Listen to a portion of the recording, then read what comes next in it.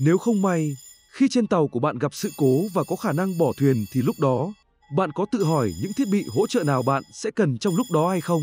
Ngày nay, các con tàu luôn trang bị đủ số lượng các thiết bị hỗ trợ sinh tồn cho người ở trên tàu. Dù cho nó là một chiếc thuyền cứu sinh khép kín, hoặc một chiếc thuyền cứu sinh chống cháy có thể thả tự do khỏi một chiếc tàu chở dầu.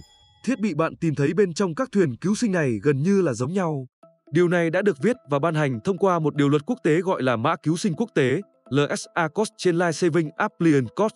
Bộ mã này sẽ cho chúng ta biết mọi thứ về thiết bị cứu sinh như áo phao, bộ áo quần chống thấm thoát nhiệt, pháo sáng và đó là những thứ cần thiết mà chúng ta biết được về một chiếc thuyền cứu sinh.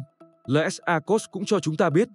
Ví dụ, một chiếc thuyền cứu sinh di chuyển với hết công suất sẽ đạt 6 hải lý trong vòng 24 giờ hoặc 2 hải lý khi nó kéo thêm một chiếc bè cứu sinh có chứa 25 người. Trong trường hợp động cơ của thuyền cứu sinh bị hư, thì người trên thuyền phải sử dụng tay chèo để có thể tiếp tục tiến về phía trước trong tình trạng biển lặng. Như khi nói về việc thả tự do một chiếc thuyền cứu sinh chống cháy trên những chiếc tàu chở hàng rời mà không có sự chuẩn bị, thì việc động cơ của thuyền bị hư hoặc trục trặc trong lúc vận hành là điều có thể xảy ra. Dù sao đi nữa, để bạn có thể hình dung được tất cả trang bị đi kèm hãy xem qua trong lúc thả một chiếc thuyền cứu sinh khép kín. Một trong những thứ bạn sẽ thấy trước tiên là những viên thuốc chống say sóng. Trong thuyền cứu sinh có đủ loại thuốc này cho tất cả mọi người đủ vượt qua tình trạng say sóng trong vòng 48 giờ. Loại thuốc này khá hữu nghiệm vì nó làm giảm khả năng thoát nước của cơ thể ngay cả khi bạn không thường xuyên bị say sóng.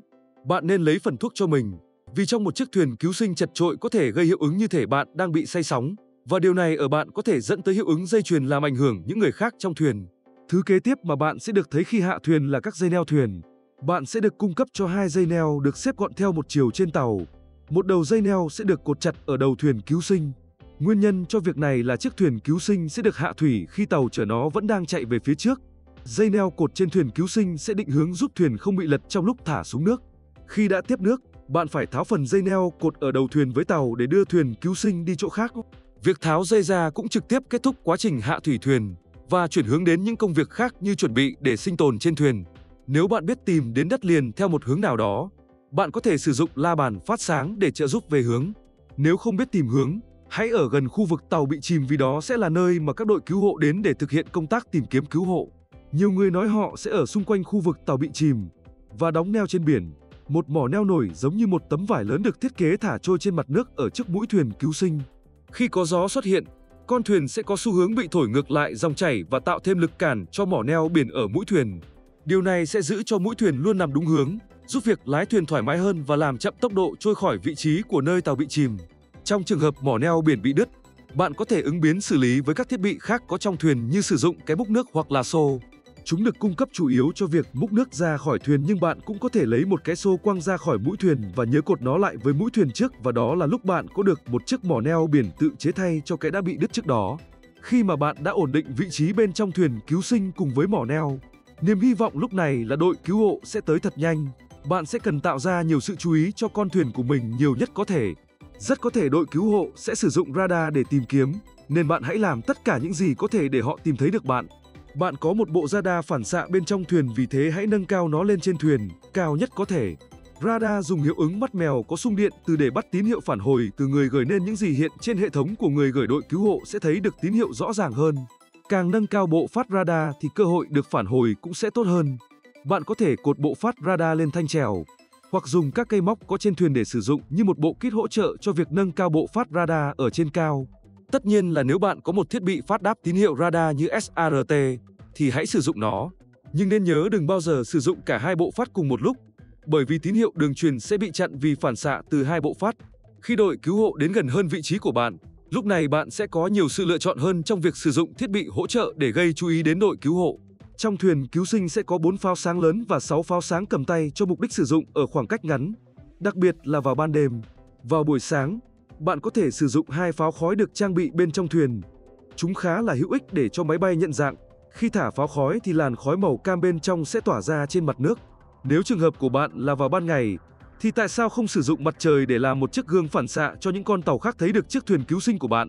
Tất nhiên khi thuyền của bạn đã được phát hiện, đừng tiếp tục làm phản xạ gây chói như thế nữa vì có thể các thuyền khác sẽ không thể giúp được bạn vì họ không thể nhìn thấy được gì. Cách này sẽ dễ dàng hơn vào ban đêm vì ánh sáng hiển thị rõ hơn vào trời tối. Bạn có thể sử dụng một chiếc đèn dọi với công suất lớn hoặc một đèn pin dự phòng và sử dụng chúng như cách mà bạn thích để giao tiếp bằng mã Morse. Ở trên thuyền cứu sinh luôn luôn có một chiếc còi sáo thổi và gần như trên chiếc thuyền cứu sinh nào cũng có là chiếc còi hơi. Còi hơi trên thuyền cứu sinh không phiền toái như tiếng kêu của nó.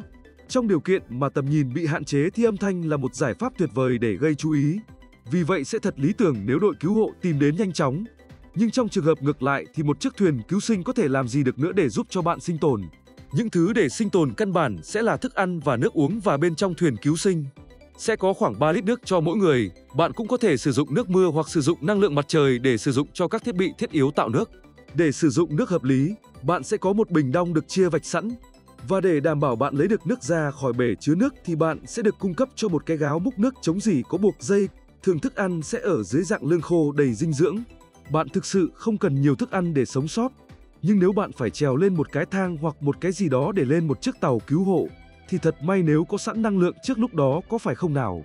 Mỗi thuyền cứu sinh cũng được trang bị các dụng cụ để câu cá.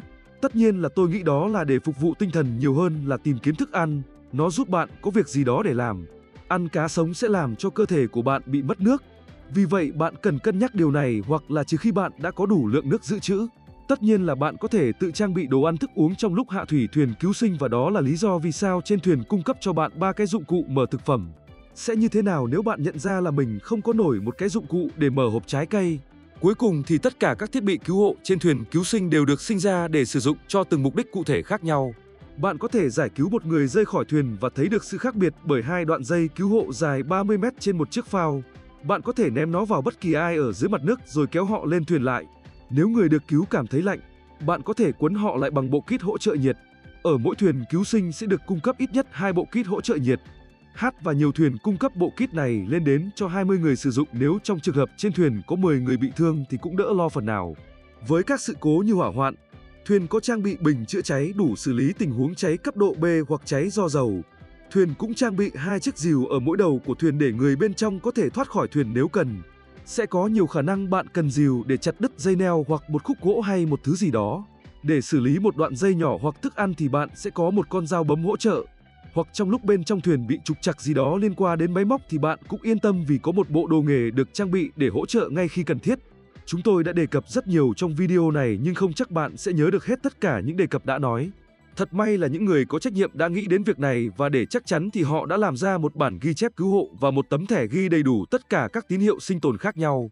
Như tôi đã nói, tất cả các thiết bị đều có mục đích sử dụng cho từng tiêu chuẩn khác nhau nên không cần biết là bạn đang ở bên chiếc thuyền cứu sinh hay một chiếc thuyền chống cháy, vì tất cả các thiết bị đều hoàn toàn giống như nhau cả. Cảm ơn các bạn đã theo dõi video này. Nếu bạn thích những nội dung như thế này và muốn theo dõi thêm, nhớ bấm like và subscribe để được thông báo nhận video hàng tuần nhé. Xin chào và hẹn gặp lại!